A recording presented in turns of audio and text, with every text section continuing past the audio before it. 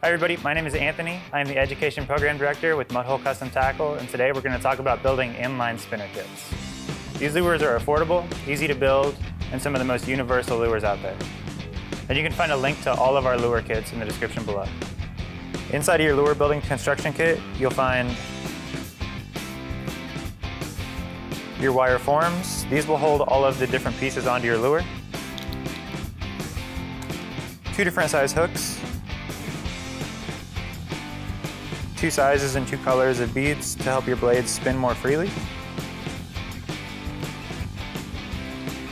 A 16th and an 8th ounce weighted body. Two different sizes and colors of clevises to attach the blade to the body. We offer three different blade types in our inline spinner kits. The Willow, the French, and the Colorado. We'll focus on building the Colorado blade today. And the tools we'll need to put these inline spinners together are round nose pliers and cutting pliers. To assemble our inline spinner, we're going to start with our wire form. And we're going to take a treble hook of your choosing. There will be a size 6 and a size 10 in your kit. And we're going to drop the treble hook onto the J hook at the bottom of the wire body. Next, we will choose a weighted body and we will drop this down on the top of the wire form and pinch the J hook at the bottom.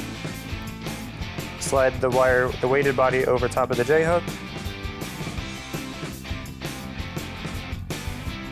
Next, we'll grab a couple beads if you're choosing.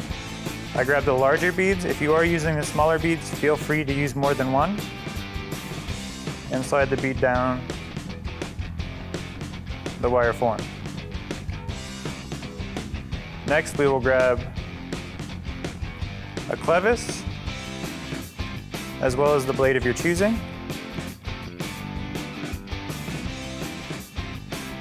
Slide the clevis through the hole in the blade and slide that down the wire body. The blades will be concave cave, make sure it hugs the weight of the lure. Next, grab another bead and slide that down. If you are using the small ones, feel free to use more than one here.